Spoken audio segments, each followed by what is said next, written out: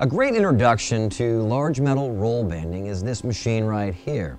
This is the Baileigh RH85. This machine has many features that are similar to those found on the larger models, such as the three driven rolls right here. And they work in a double pinch. And I'll show you just exactly what that means. These lower rolls actually move up into the third stationary roll and can be powered with the foot control.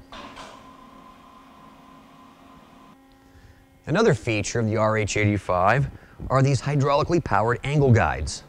Look at that, they come out, they go up, they go down, and what that does, it actually keeps your material in line and controls the angle of the bend.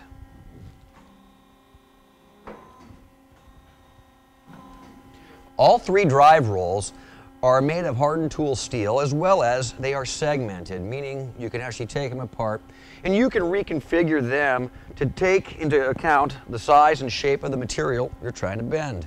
This machine has the ability to run in either the vertical position, which it's in right now, or horizontal.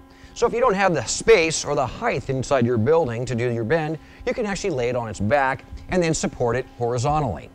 The digital readout control panel, combined with a programmable stop, and it has the foot pedals built into it, allow you to safely operate this machine right here, the Baileigh RH85.